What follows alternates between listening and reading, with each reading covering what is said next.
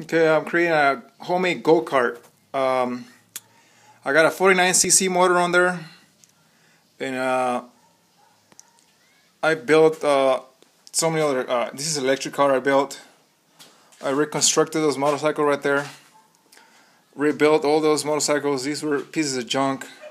They were considered junk, rusted. I mean, you name it. It was the worst I ever seen it. This one was really bad too. Um, I built the other ones. Uh, this is my fourth uh, invention for go-kart. And as you can see, um, I'm on the mounting the motor part. I built the uh, the frame. Um, the frame is uh, four foot long from that end all over to that end is four foot, and the pieces in between, those pieces right there, uh, 18 inches. So um, I'm mounting the motor right now with some L brackets. Not L brackets, I mean some L, uh, these uh, angle metal, piece of metal. I use some angle like this to mount it. Um, you guys can see I already mounted that part. I'm gonna get to that right now, but uh, the sprocket, um, I took it off a bike and welded a piece of a half inch tubing and then a 7 16 roll bar. And um, I just welded out. I used a square to uh, to make sure it was uh, straight.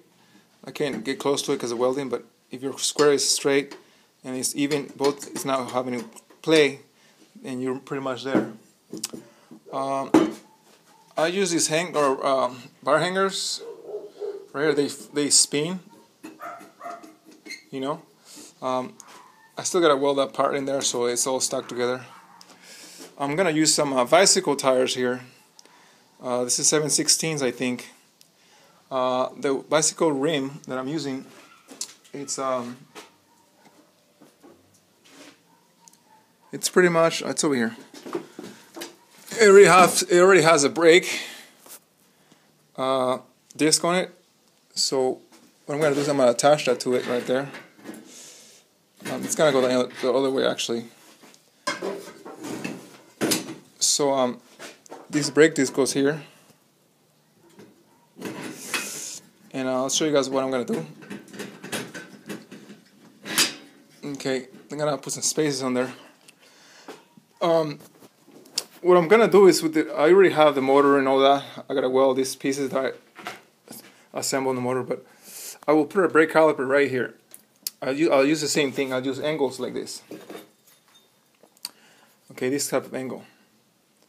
Um, and that's what I'll be using to attach the caliper on it. Um, so that's pretty much what's gonna. Uh, this is gonna be welded on, and then uh, this car is gonna be rolling. Uh, I will I will create a spindle system. If you want to go uh, check out my, uh, I have I created many spindle systems, homemade spindle systems. I created um, homemade spindle systems. Uh, that's where uh, you can look me up over Fernando uh, Rodriguez homemade spindle spindle systems or steering system, homemade steering system, whatever. Um, you can look me up on there, and, uh, but I'm gonna show you guys on this video how to create the spindle and the steering system and attach the brake and do all that stuff. So, um, okay, go see you guys in the next uh, next clip.